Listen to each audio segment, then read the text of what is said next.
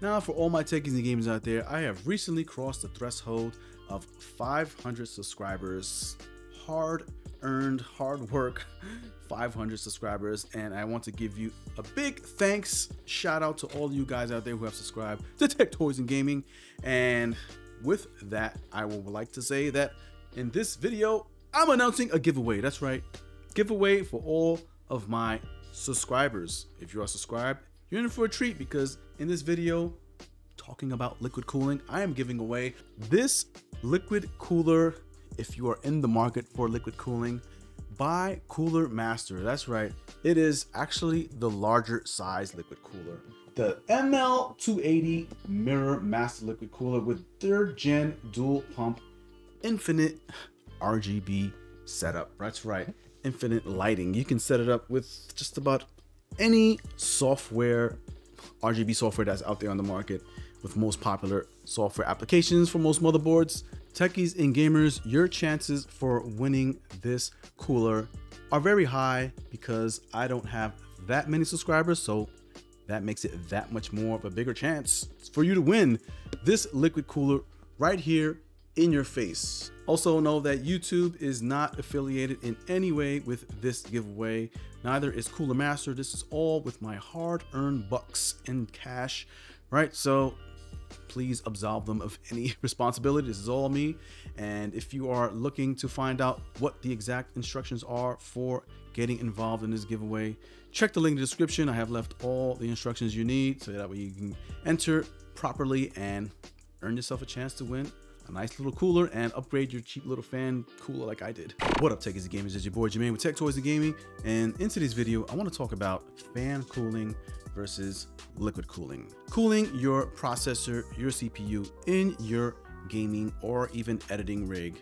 And I want to talk about this specifically because I was encountering a nice little sweet and tasty heating problem I was having, a cooling problem. I had this CPU cooler, which was a fan cooler, and um, when I was gaming, my temperatures were just rising way too high. So what I wanted to do was compare that specific fan cooler with a liquid cooler of the same price range, right?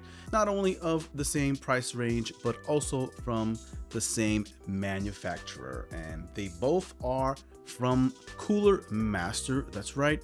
One being a fan cooler, it is the G100M fan cooler. Nice little RGB flying saucer. When I first purchased it, it seemed very promising. I purchased it because, well, it was just very nice. Nice little RGB aesthetic to it. Looked nice, cylindrical, and it was low profile because I initially got it to install into an ITX PC. And I will tell you right from the start, I was experiencing thermal issues with the different types of upgrades. Ran it on Ryzen 5 3600, Ryzen 7 5800X, and the temperatures essentially on all of them were above 80 to 90 degrees Celsius.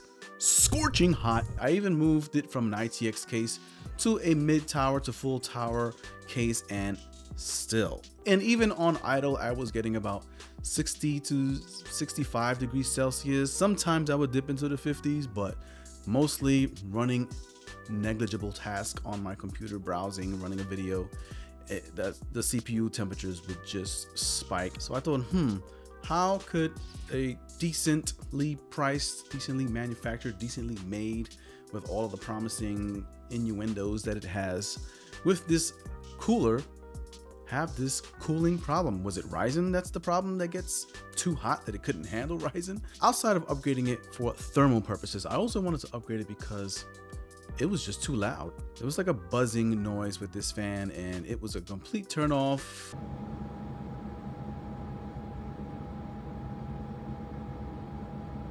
So what I wanted to do was get something comparable in terms of price range, fan versus liquid. So I went ahead and purchased the MasterLiquid ML240L V2 RGB liquid cooler. That's right. Now, this is not a super high-end cooler, but neither is it cheap either. So running with the fan cooler, you can see from this little sample I gathered from my gameplay that my CPU was scalding hot at 90 to 91 degrees Celsius consistently. Now that is just too hot. You should not have your processor running like that for long periods of time at 91 degrees Celsius. And with running at those temperatures, I suffered with frame rates. Yep, my frame rates weren't as good as they could have been because there was some throttling, especially with some of these games being CPU bound somewhat, not so much, but either way, with the process of running that hot consistently, eventually you're gonna suffer in frames. I tested with Asterigos, not too much of a big graphically intense game, but it is significantly graphically intense and running it at full epic high quality at 144 frames per second, it was dipping. So TechEasy Gamers, what do you think happened when I went ahead and moved into this new liquid cooler? Sometimes in some reviews you see that the fan coolers work better. Sometimes you see that the liquid cooler works better. In this case, the liquid cooler has literally blown, fan blown, get it? What? Has literally blown the competition out of the water. It has made this fan cooler look disgusting.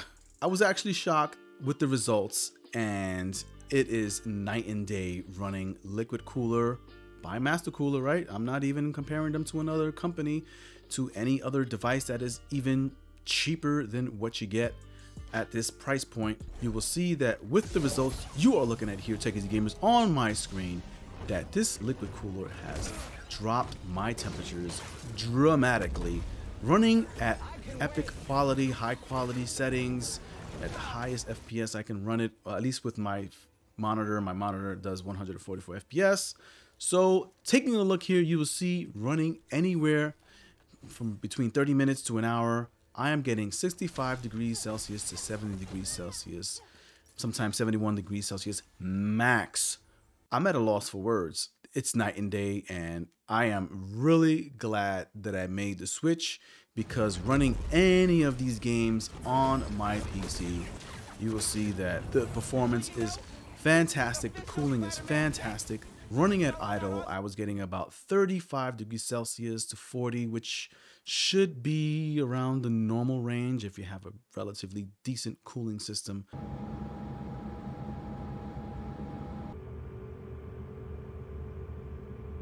So if you are on the fence about upgrading from your fan cooling setup, your fan cooling system on your processor, on your CPU, in your computer, then hopefully this will give you some insight as to whether or not you should upgrade to liquid cooling. I would even go as far to say that I could have bought an even cheaper cooler by another less known name brand manufacturer and still gotten great results over this known manufacturer uh, CPU fan cooler by Cooler Master. Yes, liquid cooling is it's made me a believer. I don't know about you guys out there, but I don't know if I would be willing to go to a fan cooler again unless I get some ultra super sized large fan cooler that's the size of my car engine. What?